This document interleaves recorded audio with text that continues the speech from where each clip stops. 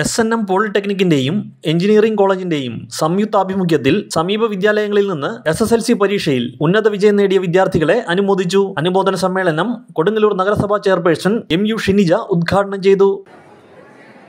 എല്ലാ വിദ്യാർത്ഥികൾക്കും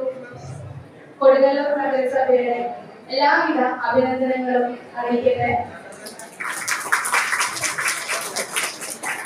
നമുക്കറിയാം ഏറെ കഷ്ടപ്പെട്ടിട്ടാണ് നമ്മളൊരു പരീക്ഷ പാസ്സാവുന്നത്. ഇപ്രാവശ്യത്തെ സി എക്സാമിന് ഒരു പ്രത്യേകത കൂടിയുണ്ട് അല്ലെ? കുറെ നമ്മൾ വീടുകളിൽ നിന്ന് പഠിച്ചു കുറെ സ്കൂളുകളിൽ നിന്ന് പഠിച്ചു. പലതരത്തിലുള്ള പഠനങ്ങളിലൂടെയാണ് ഇപ്രാവശ്യം നമ്മൾ ഈ ഒരു പരീക്ഷയെ നേരിട്ടത്. നിങ്ങൾ ഒരേ ഒട്ടേറെ കഷ്ടപ്പെട്ടിട്ടുണ്ട്.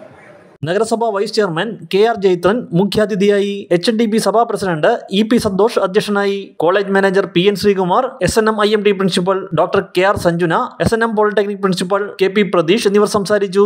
തുടർന്ന് M G university career counsellor Babu Pallippattu career guidance class എടുത്തു.